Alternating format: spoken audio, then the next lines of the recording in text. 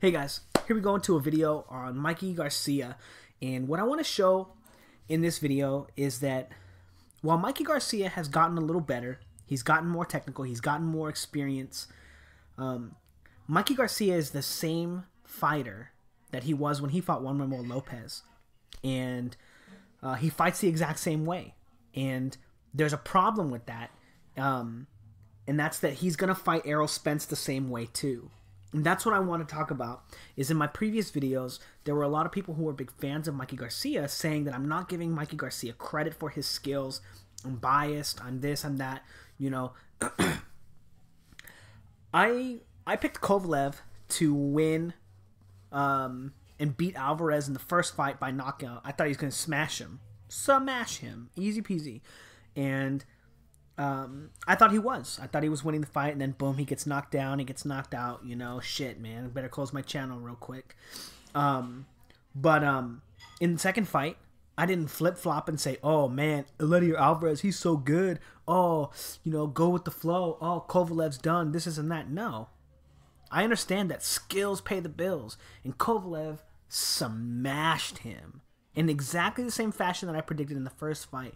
And that's because I let the skills talk right? Or let the what the fighter is good at talk, not not what I think, right? It's not about it's how I analyze, it's how I how I obsess about boxing, the way that all the little variables that I see, that I feel when I watch film study, you know, like you like you guys watching my film study, these are small amounts of the amount of film that I watched on these fights that I'm sharing with you. There are other things that I'm interested in too in the fights that I think is fascinating, but for the most part, I'm trying to, in my mind, compile a way that I feel the fight is going to go. And and because of that, I feel like all of the cards are in Errol Spence's court. Only Errol Spence can let himself down just like Kovalev let himself down in the first fight against Eleider Alvarez. Um, and a lot of people said that I was biased picking Kovalev, and then in the rematch came, none of those people came back to my channel. Anyway, we're going to talk about Mikey Garcia and the way that he fights southpaws. And the reason this is important is because he fights them the exact same way. And because of the fact that he fights them in the exact same way, and I've shown in my videos countless, countless, countless times that fighters have tendencies, fighters have patterns, fighters learn how to do things and that's what makes them great. That's what makes them separate from the pack in the first place.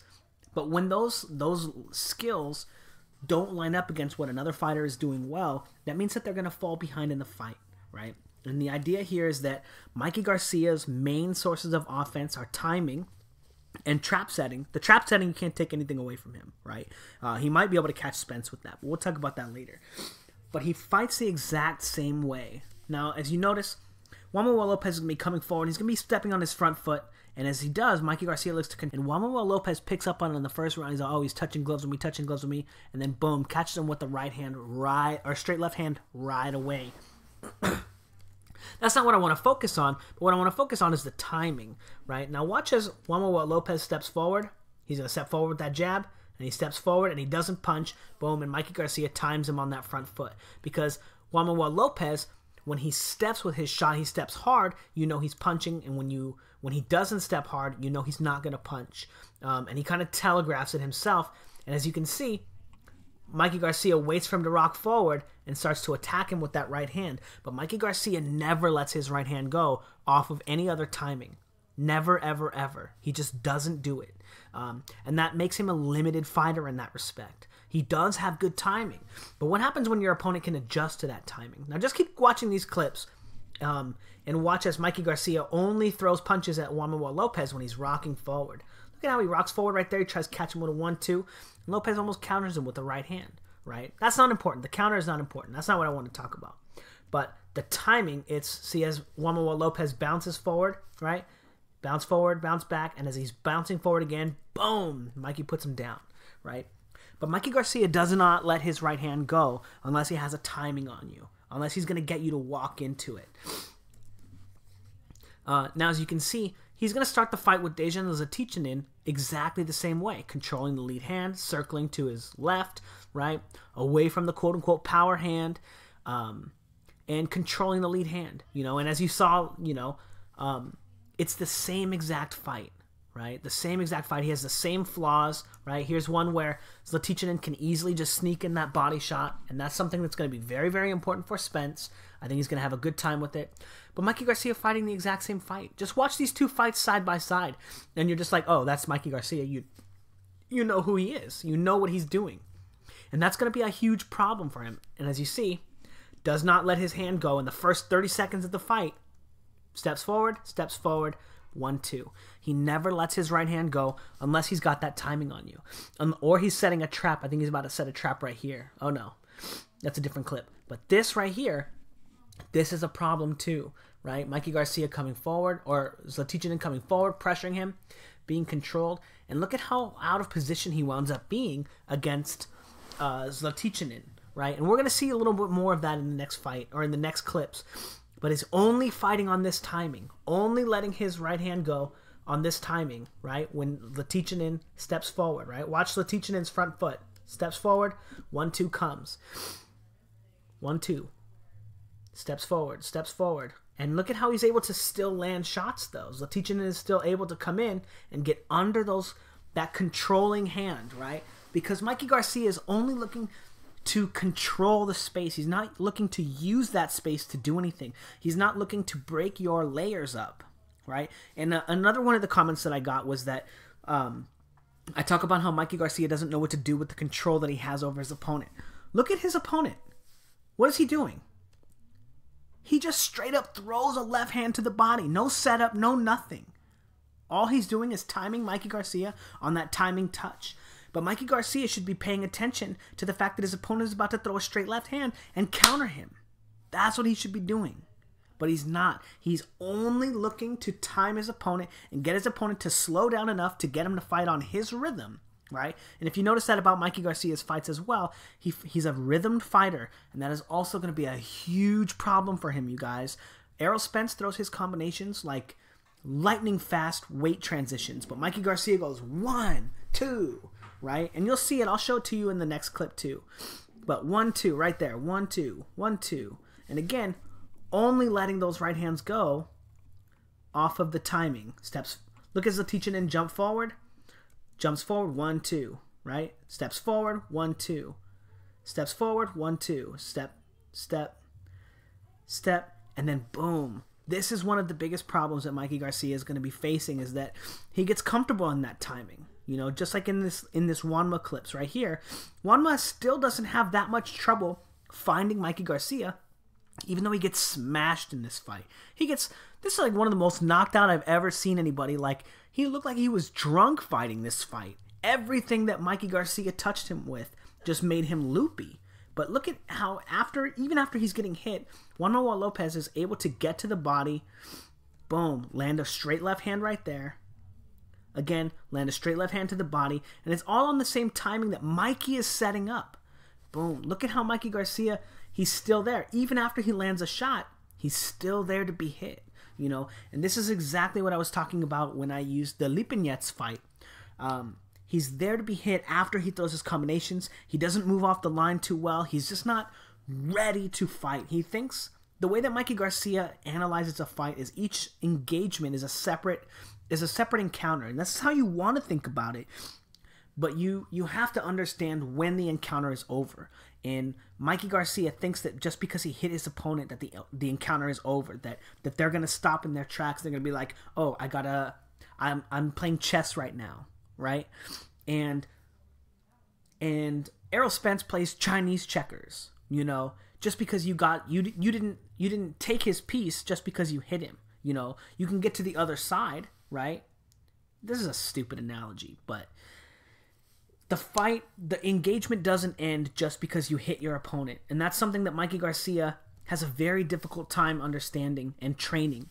Now, this this clip in particular, flash the right hand, gets under the hook, and then goes to the body. Boom. And look at Mikey Garcia try to tie up. Look at how sloppy he is on the inside. Look at this, you guys. Come on. You want to talk about bias? You want to talk about um, being an elite fighter. Have you ever seen Lomachenko put his head down like this? Ever? Right? Floyd Mayweather? Come on, you guys. Even Manny Pacquiao. I mean, maybe Manny Pacquiao, right? But he got that offense though. He ain't. He's not a defensive fighter. But um, but again, look at even though he's he's landing this counter, he's he lands this shot, boom, and then he's just like rocks forward, the slowest rock forward. This Juanma has two left feet in this fight. Actually, I think he's got two left feet and two right feet, and they're all going the wrong direction. And Juan Lopez is able to eat these shots and just land punches. Just come forward. Errol And Mikey Garcia is there to be hit. Now, this is a continuous sequence right here. Look at how he eats that shot and he's just able to counter him. Come, keep coming forward. Come forward again and again. Look at how sloppy Mikey Garcia is getting off the ropes, right? No control over his opponent. I think he's going to be a little bit better at this in the Errol Spence fight. I think that he has shored a little bit of this up, but look at how sloppy he is. Look at how easy he is to hit. And these are the kinds of things that I think he's going to have a problem with. Again, you know, look at how easy it is for him in that sequence to land those body shots because Mikey Garcia doesn't know how to counterpunch. Mikey Garcia, he doesn't know how to utilize the control of the space that he has, and he has control. He has perfect control. He's constantly making Juan Manuel Lopez react to what he's doing right here. Like after he shoots that jab, he has control of him, right? He could do anything right here. Juan Manuel Lopez is committing. He's taking a step. He's committing all his weight. He has nowhere to go. He cannot do anything. And if Mikey Garcia caught him with an uppercut, or caught him with a right hand, or caught him with a left hook, or caught him with anything, he knows where Juan Manuel Lopez is going to be, but he doesn't understand uh, that he needs to be looking for that. And that's going to be a huge problem for him in the Errol Spence fight because he's not fighting a 126 pound fighter anymore.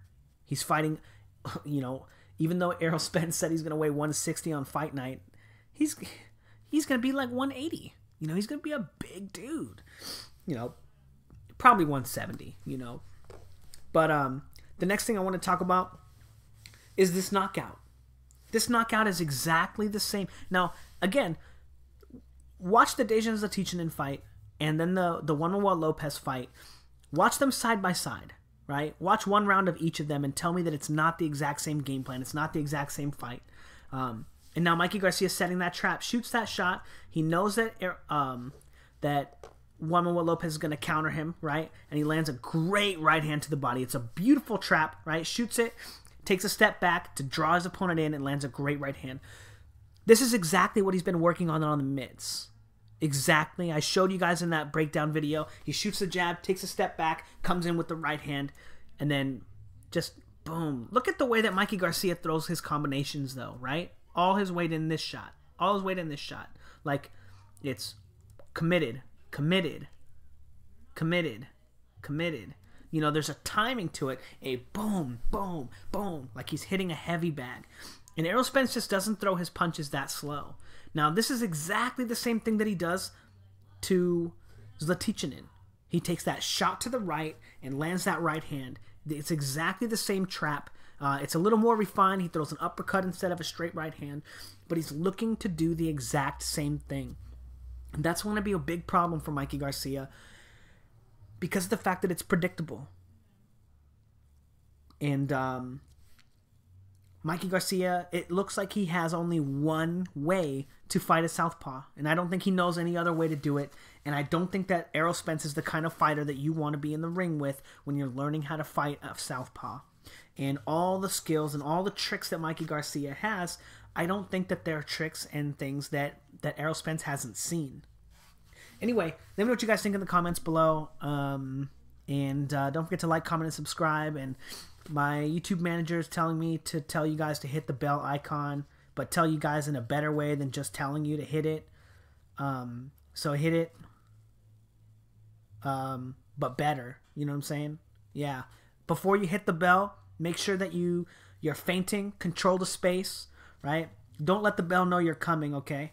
Um, and then make sure that you set the shot up and then and that you really knock it out. Okay. All right. Thanks, guys.